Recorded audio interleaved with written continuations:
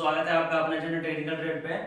दोस्तों, आज हम लोग टेक्निकल ट्रेड का जो सात मशीन पढ़ना है, उसमें आज जो चौथा मशीन है, डीजल, उसको आज स्टार्ट करते हैं और जानते हैं, इसके बारे में देखते हैं डीजल में क्या क्या पढ़ना है।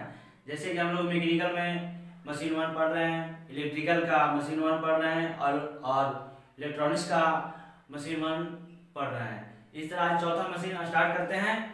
और बारी बारी से सभी के बारे में जानते हैं।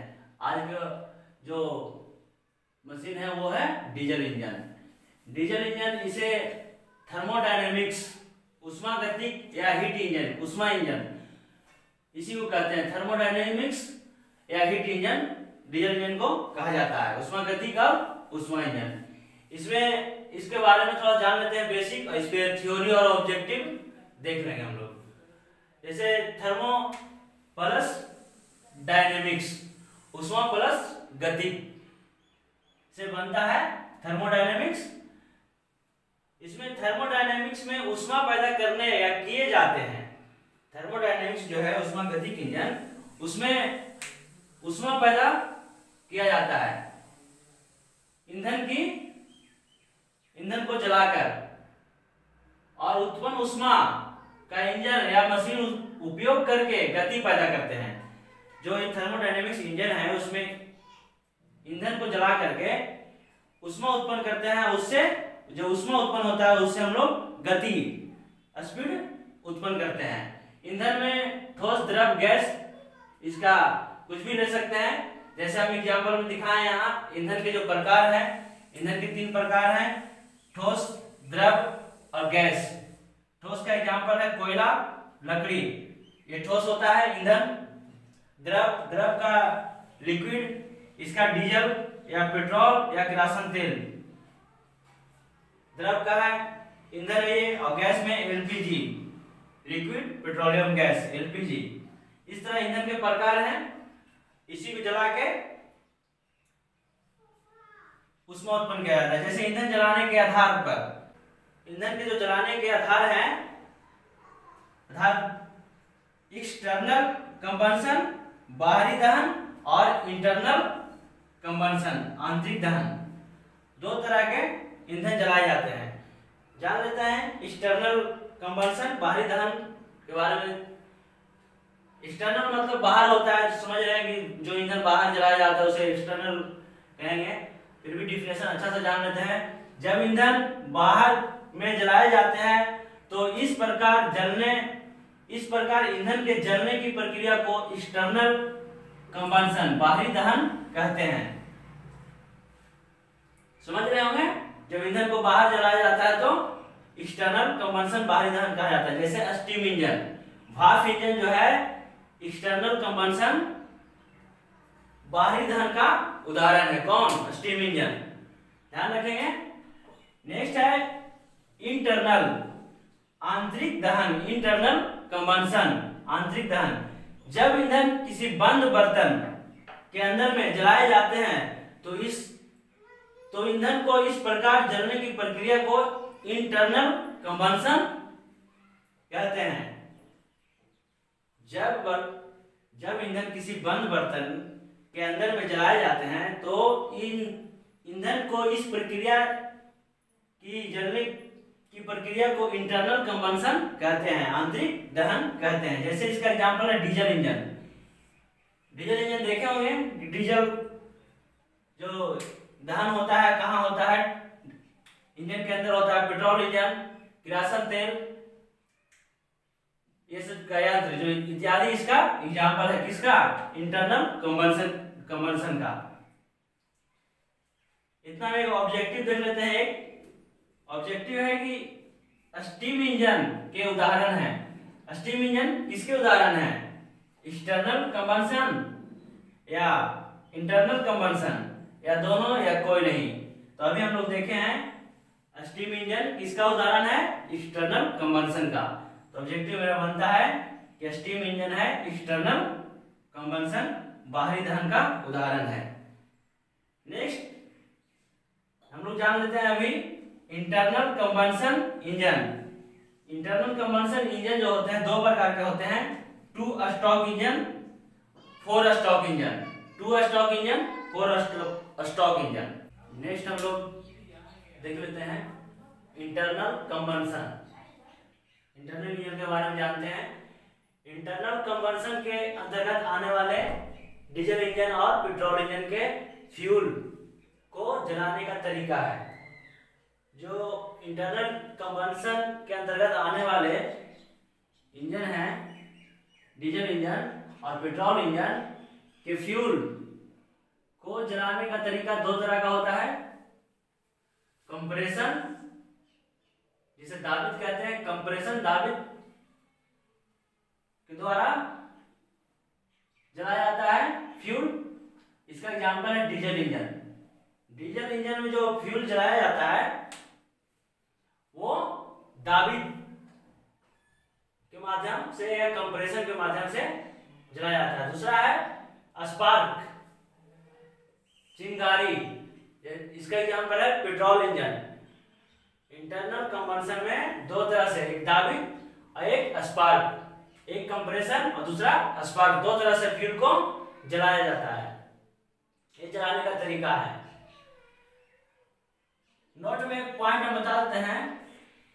जान लेते हैं कि डीजल इंजन या पेट्रोल इंजन को कंप्रेशन इंजन कंप्रेशन इंजन और स्पार्क इंजन भी कहा जाता है।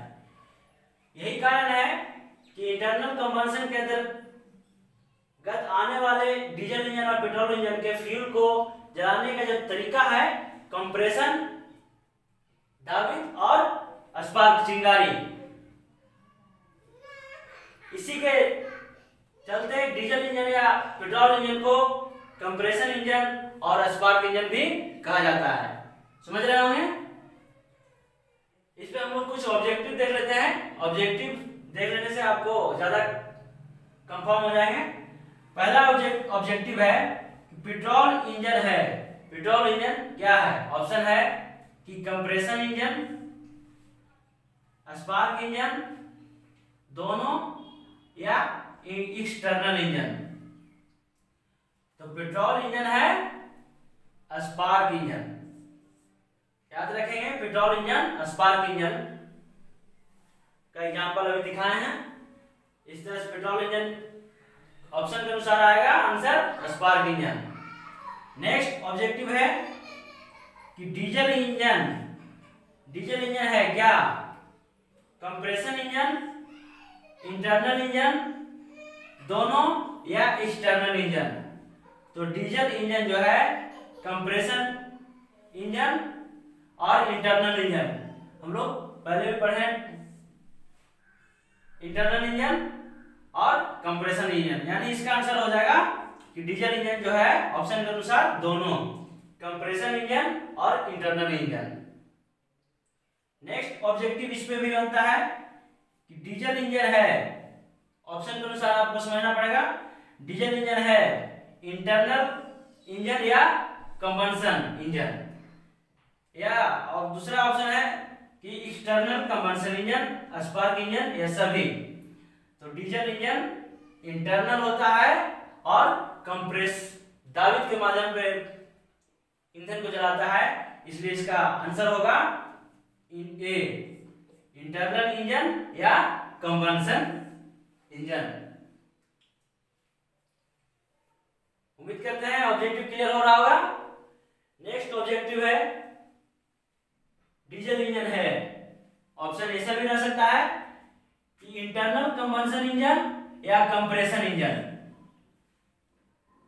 डीजल इंजन का तीन ऑब्जेक्टिव बना है, जो ऑप्शन के अनुसार क्वेश्चन पकड़ने के लिए बता रहे हैं आपको। कि डीजल इंजन यहाँ पूछ रहा है कि इंटर ऑप्शन में इंटरनल कंबंशन इंजन है या कंप्रेशन इंजन है। तो डीजल इंजन जो है इंटरनल कंबंशन इंजन और कंप्रेशन इंजन दोनों है। इसका आंसर हो जाएगा दोनों। उम्मीद करते हैं डीजल इंजन कौन सा इंजन है? ध्यान। माइंड में आ गया होगा कि कंप्रेशन इंजन भी बोलेंगे इसको। और इंटरनल इंजन भी बोलेंगे इंजन और कंप्रेसर इंजन डीजल इंजन को बोल सकते हैं। इस तरह डीजल पे कुछ ऑब्जेक्टिव थे। पकड़ सकते हैं आप लोग ऑप्शन के अनुसार। नेक्स्ट हम लोग देखते हैं थर्मोडायनेमिक्स में, जो उष्मा हीट देते हैं इनपुट इंजन में या मशीन में, वो आउटपुट में हमें क्या देता है?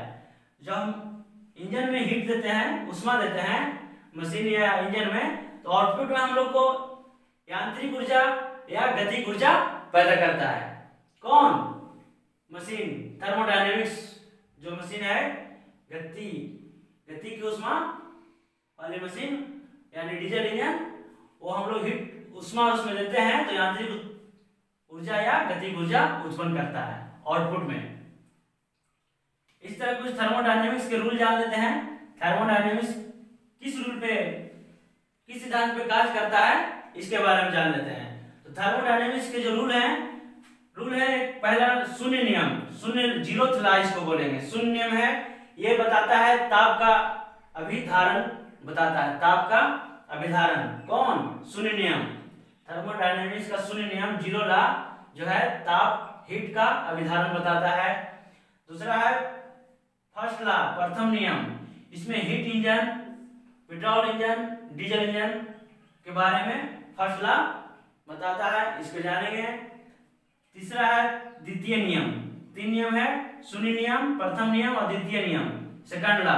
इसमें रिवर्स हीट इंजन या कंडेंसन और रेफ्रिजरेशन के बारे में बताता है। कौन? द्वितीय नियम सेकंड ला।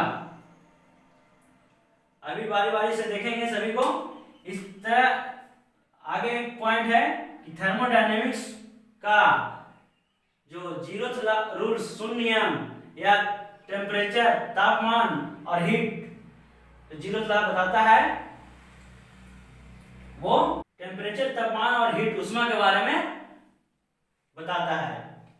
ज़ीरो या थर्मोडायनेमिक्स का शून्य नियम कहेंगे इसे। उम्मीद करते हैं कि जो कुछ अभी बेसिक कुछ पॉइंट्स जो बताए हैं, आप लोगों को समझ में आया होगा।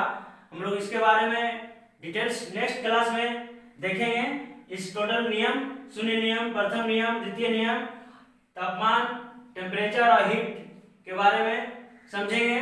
और इस पे ऑब्जेक्टिव जो बनेंगे, बहुत इंपॉर्टेंट ऑब्जेक्टिव आएँगे, बहुत ज़्यादा ऑब्जेक्टिव आएँगे इस पे, क्योंकि ये पूरा एक क्लास चलेगा सिर्फ़ टेम्परेचर तापमान और उष्मा पे हीट पे। तो मिलते हैं हम लोग नेक्स्ट क्लास में और जानते हैं इसके बारे में। सही से उम्मीद करते हैं कि आप लोगों को जो बेसिक डीजल का बेसिक क्लास है अच्छा है, समझ में आया होगा। वीडियो को लाइक और शेयर और चैनल को सब्सक्राइब ज़रूर कर दें और बताएँ, कमेंट करके आपको क्लास कैसा लगा। धन्यवाद।